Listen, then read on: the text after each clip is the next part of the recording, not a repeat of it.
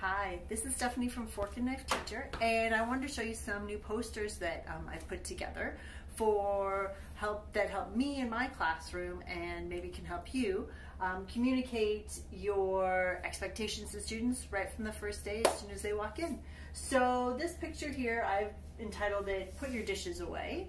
So it uh, comes in black and white and color and I put it all around different workspaces just so they remember that when they're done with their work for the day, put those dishes away.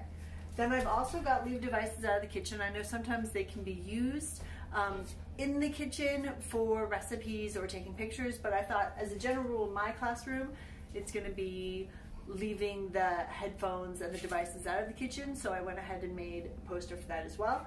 And then the last one I have is clean your workstation sometimes people forget, you know, at the end of the day when you have, you know, made whatever beautiful thing you're making, they need to go back and clean up that workstation before they're all done. So these are the three posters that I've got for starting my classroom expectations off right. Thanks.